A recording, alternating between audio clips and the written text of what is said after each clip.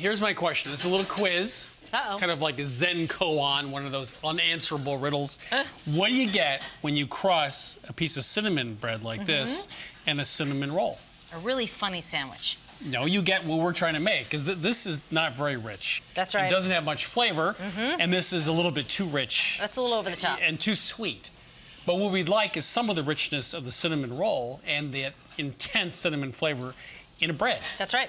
And that's your job. I can do it. Okay. So the key to making a really good loaf of cinnamon raisin bread is nailing the texture and consistency of the bread dough itself. So starting with bread flour. Now bread flour, of course, has a higher protein content compared to all-purpose flour, so it makes stronger gluten development.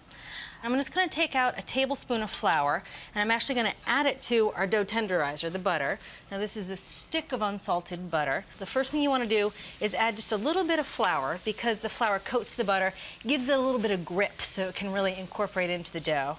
And the other thing is you want the butter to be a little bit softened, but not melted. So what we're going to do is toss the butter with this flour, and then set it aside while we build the dough itself, and then we'll add it in later. So to the rest of this flour, we're going to add a little non-fat dried milk powder, which gives us a rich flavor but won't make the dough too dense. And this is three quarters of a cup, a little bit of sugar, third of a cup, and a good amount of instant or rapid rise yeast. This is a tablespoon. Now this will make enough dough to make two loaves, so keep that in mind. So we're going to mix this together, and then we can put it onto the mixer and add the liquids to start making the dough. And we're going to put on the dough hook. With the mixer on medium low, we're gonna add the water. Now it's one and a half cups of water, and you want the water to be warm, 100 to 110 degrees, because that'll wake up that yeast activity. But if the water's too hot, say 115, 120 degrees, it'll actually hurt the yeast. I'm just gonna whisk the egg together. There we go, and we'll add this. So it takes about a minute or two for all the ingredients to incorporate and become pretty evenly mixed. All right, so that's pretty good. What we want to do is let it sit, and I'm actually going to cover it with some plastic wrap. And what's going to happen is the flour is going to hydrate and actually start forming the gluten so that when we do turn the mixer on, that gluten will develop really quickly and really strongly. All right, so this dough has been sitting for about 20 minutes, and you can see it's made quite a transformation. It looks much smoother and much more hydrated. And now we're going to add the salt, and this is one half teaspoon salt. We're going to turn the mixer on and we're going to knead the dough for about 7 to 15 minutes until it forms a smooth round ball. All right, so you can really see the transformation, and now's the time we add the butter. So of course this has developed some good gluten structure, and now we're adding the tenderizer, which is a lot like making brioche, but this is a lot less butter than brioche. So I'm just gonna chuck the butter slices in there every so often, and by the end, the dough will be very satiny and smooth and shiny. All right, so this dough's been mixing for about three to five minutes after we added the butter. And now you can see it's cleared the sides of the bowl, but it's still sticking to the very bottom. That's a good thing. That means we have good gluten development. And this is one and a half cups of golden raisins. You just stir these in at the end until they're good and incorporated. And that only takes about 30 seconds or so. So now we're gonna take the dough out of the mixer. We're gonna transfer it to a bowl that I've lightly greased. So using one of these dough scrapers makes it really easy to transfer the dough around because it's quite sticky. And to turn a dough, you simply pick it up on one side and you fold it over to the other. Turn the bowl 90 degrees and you do it again. We're gonna do this a series of eight times. And this does a couple things. One, it gently shapes the dough into a nice ball shape so that it's easy to work with. And two, it really helps the gluten development. That is eight times. And now we're gonna cover this with plastic wrap and let it rise. Now, of course, you could let this rise on the counter, but that would take a while because this is a very dense, heavy dough. So what we're gonna do is give it a nice, warm, humid place to rise in an oven that's turned off. And what we have in there is a loaf pan. I'm going to pour in about three cups of boiling water. We're gonna put this on the bottom of the oven. We're gonna put the dough on the top. So the total rising time on this dough is going to be about an hour and a half, but after 45 minutes that dough will be doubled. I'll gently punch it down and do that folding technique again and put it back for another 45.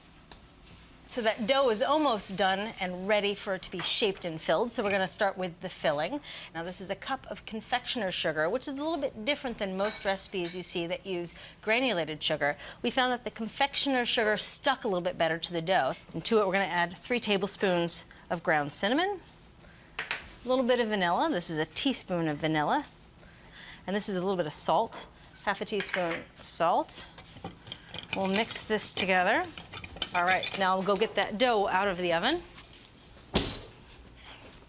Oh, she looks good. Mm. So now we're gonna take her out of the bowl and of course flour the cutting board a little bit so that it doesn't stick.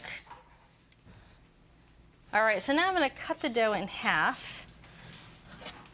There we go, and there's your half, and I'm gonna work on the counter over here.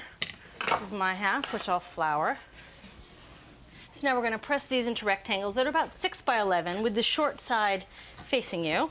You know, about 6 wide and 11 long. You don't need to be too careful because we're not at the shaping part yet. We're just going to build some good structure in the dough. So now take the long side on one side and fold it over the middle. And you do mm-hmm. the same on the other. Okay. All right, and then you're just going to roll it up. This is a really gentle way to shape the dough and give it, again, a little more gluten structure without making it difficult to handle. Okay. All right, so we're going to sprinkle it with a little more flour. We're going to roll this out till it's pretty thin. It measures about 7 inches across and 18 inches long. You want the dough to be pretty thin. We're going to really make a good filling and spread it thinly into the dough. Okay. Yep, so I'm about 7 inches, which is good, and about 18. All right, so now we're going to put the filling on. And a trick to getting the filling to stick to the dough is to squirt the dough with a little bit of water. All right, now we're going to put the filling on. You want to leave about a quarter inch on the sides and a border of about three quarters of an inch on the end. All right, you just want to tamp down the filling a little bit. So now we're going to spray the filling, but you don't want to overspray it. You don't want it to be wet. You just want a few water spritzes on top. That's perfect. So now starting at one end, rolling all the way to the other. When you get to the end, I like to pull it a little closer so it's easy to work with. And you just want to pinch that seam closed. All right, so we're going to set these aside and let that gluten relax again for a little bit before we finish our shaping technique, which gives us a chance to clean up. All right, so we're all cleaned up and ready to finish shaping the loaves. And here I'm just going to dust a little bit of flour on the cutting board. What we're going to do is actually cut them in half. I'll do one, and then here you can do it with yours. All right, so now we're going to stretch these guys until they're about 14 inches long, which isn't too much longer. You can kind of pick it up and stretch it out a bit. So now we're going to do what's called a Russian braid. You want to rotate them cut side up, and you pinch the ends together, and then you just fold one over the other. And if you could do it about three times or so is about what you do. And then you pinch the ends together on the other side. And then these pans have already been greased, and you just gently pick the dough from both sides and put it in the pan. And there you have it. Pretty as a picture. Boy, that's cool. Yeah, it's I like nice. okay, so we're going to cover these with plastic wrap. And of course, we have to let these rise for about another hour and a half. About half of that, 45 minutes, will be in the oven in our nice, warm, moist area. Then, of course, I've got to turn the oven on, so I'm going to take them out and let them finish rising on the counter while I heat up the oven. Okay. All right, so these loaves are beautiful. They're nice and risen, and they're about an inch over the lip of the pan, which is exactly what you're looking for. And now we're going to take off the plastic, brush them with just a little bit of egg, and then put them into the oven. So I'm being kind of delicate here because I don't want to deflate any of the dough. So that's why I'm being gentle and dabbing it on, and that's good. So we're going to put this into a 350 degree oven. Mmm. All right, so those are going to bake at that 350 degree temperature for about 25 minutes, and that'll give that nice oven spring, that last lift in the bread. And then I'm going to turn the oven down to 325 and let it go the rest of the time with a tent of foil on top so the loaves don't get too brown. At the end, the bread should register about 200 degrees. So it's time to take their temperature. And again, we're looking for a temperature of about 200 degrees. 198 degrees, that's pretty much close enough. Time to take these guys out of the oven. Mmm, they smell good. Do some. All right, so we're gonna take their foil hats off. We're gonna let them cool in the pan for about five minutes to set up. Then I'm gonna remove the pans and let them cool completely for about two hours before we slice them open. Okay. All right, so these have been cooling for about two hours, and they are ready to slice open. Can we just have everybody say how beautiful I know. these are? Could They you say look that? good. Yeah. There you go, a nice slice for you. Here's a little softened butter if you'd like it.